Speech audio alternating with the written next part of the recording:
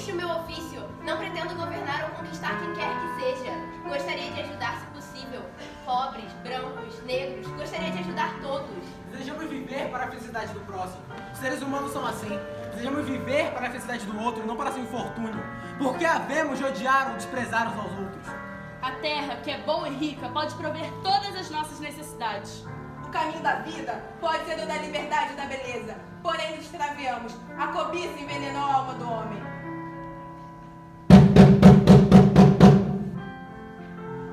Atenção! Aqui quem vos fala é o Capitão Miranda. Sou o representante oficial das Forças Armadas de lugar nenhum.